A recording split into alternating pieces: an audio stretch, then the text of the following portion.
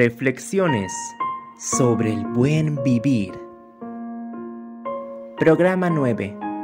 Vida comunitaria y democracia. Hola amiga, hola amiga. Cuando escuchas la vida comunitaria, ¿qué imagen se te viene a la mente? Y cuando oyes o lees la democracia, ¿te dice algo? ¿Te recuerda algo? Hablar de comunidad y democracia es recordar la historia, identificar en tu país y en tu barrio cómo se ha vivido la organización social quiénes están involucrados en su desarrollo, qué valores quieres que se vivan. Un país, un Estado, tienen éxito en cuanto todas sus ciudadanas y todos sus ciudadanos pueden vivir en libertad, igualdad y fraternidad.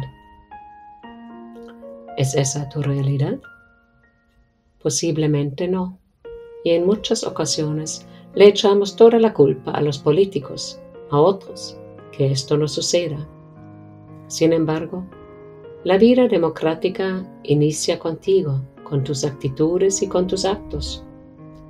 ¿Reconoces a tu vecino como a alguien con quien hacer una faena comunitaria para embellecer el vecindario? ¿Reconoces en la niña con discapacidad a una persona que quiere vivir en plenitud? Tomas contacto con organizaciones cívicas y sociales que luchan por el bienestar de la gente marginada. Son estos actos que aparentan ser pequeños los que fortalecen a un buen gobierno en todos sus niveles. Te invito a revisar tus actitudes democráticas. Sé hoy un buen ciudadano, una buena ciudadana.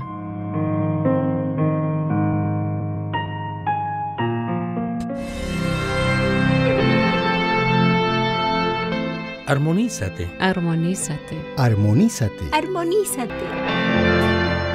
Un espacio de encuentro personal con los demás.